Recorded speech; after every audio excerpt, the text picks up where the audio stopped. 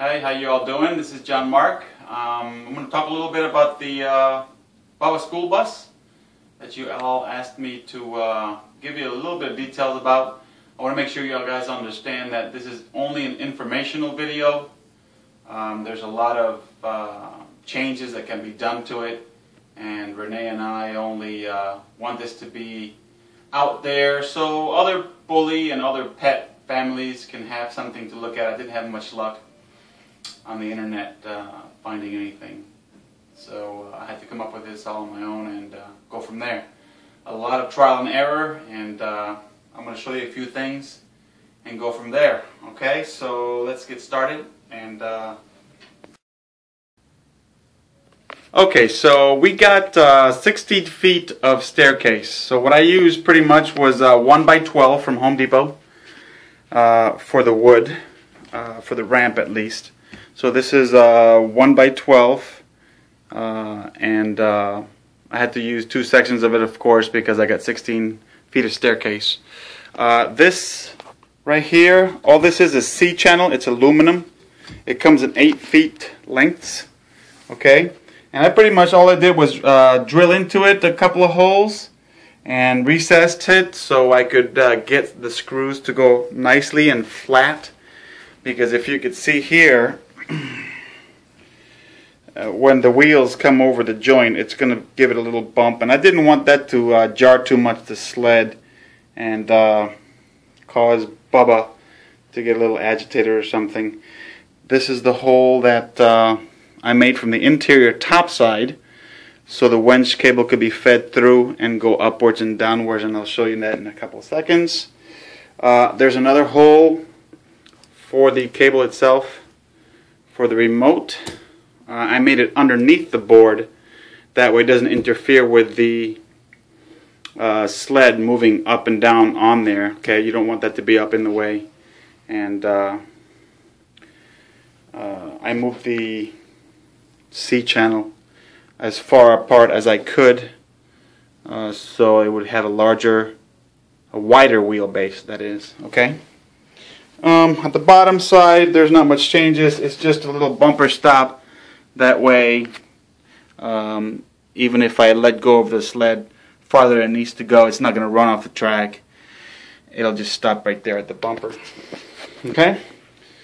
Um, covered it with carpet used some nails etc. It's nothing big, just got some any type of carpet that you want to put on there.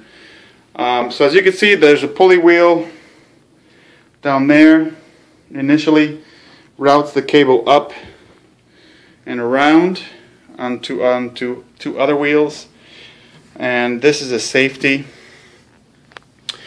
There's just two bolts and a piece of metal with a couple of nuts underneath it that way it lifts it up above the carpet and it doesn't hinder the wire from sliding through it. So that way if the cable or any of this ever lets go, um, there'll still be something holding on to the cable while Bubba's inside of it and it doesn't let go and it doesn't crash. So you'll have enough time to remove him from the sled and take any other actions that you need to take.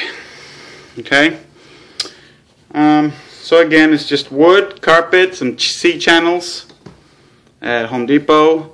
These wheels uh, are pretty much uh, pulley wheels for garage doors.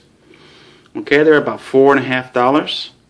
They come with the bolt that uh, comes in the package. So all you got to do is pretty much get a longer bolt. That way it, it goes all the way through the board and uh, you have some space to put a lock nut and a washer underneath there. I also put some washers underneath the wheel itself that way it could slide a little better. Okay, so uh, three three garage pulley wheels, some longer bolts, a couple of bolts and a piece of metal to hold it in place so as not to uh, cause it to come off uh, the track when the sled gets higher. And the remote uh, I'm going to talk about the winch in a little bit, but here's a remote up and down. Okay, it's very nice. It's 10 foot length on the cable. That's the only uh, winch I could find with a 10 foot length, so that's why I had to put it pretty much halfway up or halfway down the stairs. Uh, so it will reach all the way up and reach all the way down either way. Uh, I wanted to be in control of it, that's why I uh, didn't want to put it on the wall and uh, you know make it an on and off switch because then you wouldn't really be able to stop it as uh, we're moving up and down. At least with the control you have all the control you want in your hand and uh, if something goes wrong you can always stop it right there and then there. Okay? So that's pretty much for the ramp and the pulleys and how the winch wire comes through the wall routes up and around and attaches to the school bus that I painted there okay? Um, I also had to make a ramp uh, to exit uh, and I incorporated the ramp to like a shoe cubby. Alright? So I had to make that because if you look at the ramp versus the bus and you open the bus door at the front side uh, there's way too much height on the bus because we wanted Bubba to be sitting in it um, at an even angle not aiming downwards because you know our, our, pets are heavy front side you know? And last thing you need is to have this bus flip over and then you got another issue. So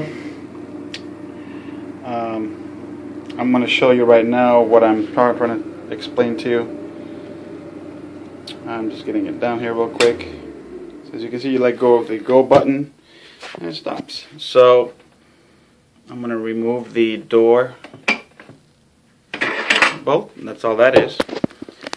And as you can see, if I flip this down, there's a good, a good, um, probably a foot and a half, two feet of height. Okay, uh, the only resolution to that would be to make this other ramp at the front to help him get out. So, in turn,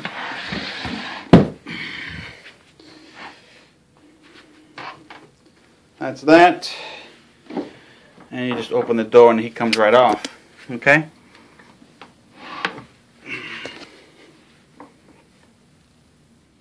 Alright, so that helps him get off. And this is just an extension because even then there was another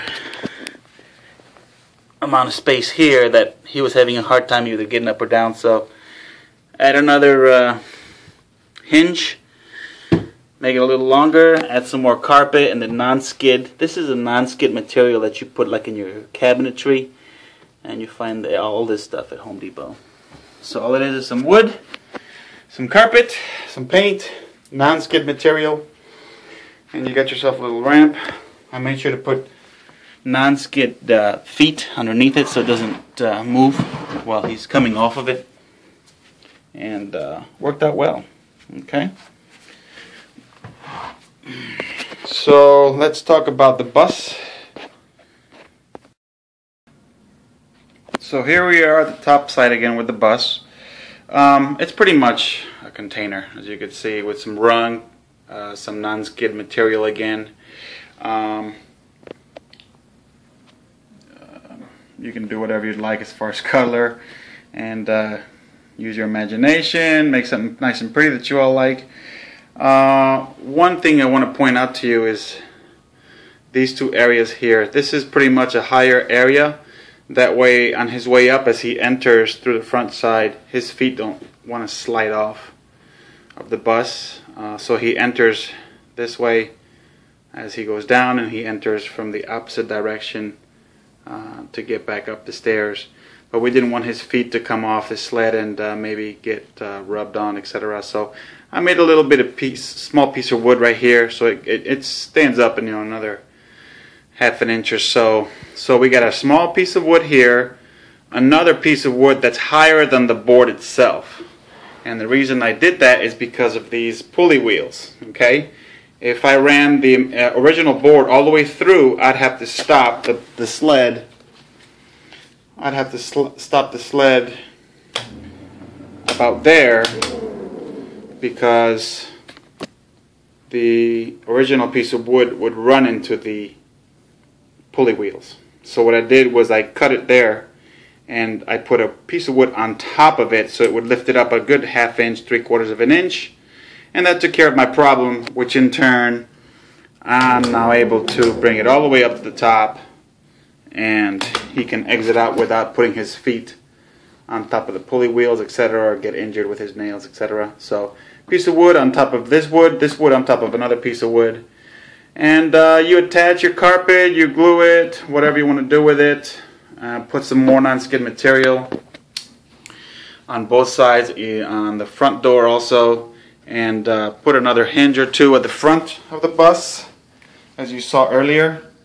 Uh, two hinges here, that way the door opens nicely A couple of eye bolts, big lug nut, and uh, put some carpeting here because there's there's obviously some uh, spacing there between the two pieces of wood, so that as not to uh, you know hurt his feet some more. Okay, so decorate as you'd like. Um, a couple eye bolts, a lot of screws, a lot of nuts.